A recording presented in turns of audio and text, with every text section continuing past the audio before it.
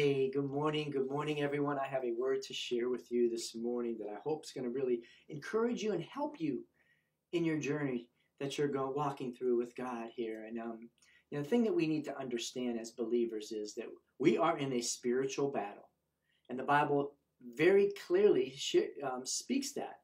As we look in Ephesians six twelve, it says, "For we are not fighting against flesh and blood enemies, but against evil rulers and authorities of this unseen world, against mighty powers in this dark world, and against evil spirits in the heavenly places. Wow. You know, the, the thing that the enemy is going to do, he is going to throw everything he can at us to discourage us, to get us down, to get us depressed, to get us to want to quit. And what I pray you understand is that this real battle is what Satan is really after, is he's really after to break down your mind.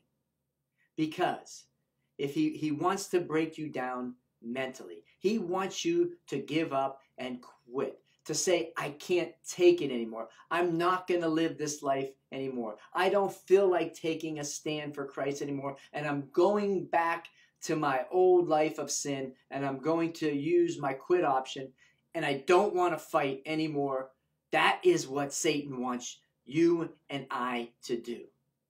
But I'm here to encourage you that he is a liar. He's the father of lies. So I want you to remove forever from your mind the option to quit.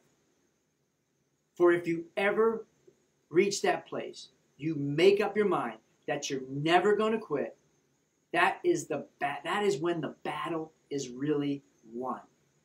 And I pray that everyone will get this point I want to make. I'm not in this to see what I could get out of God. I'm in this because He loved me first and He gave Himself for me. So I'm never, ever going to ring the bell and quit. I have nothing to go back to.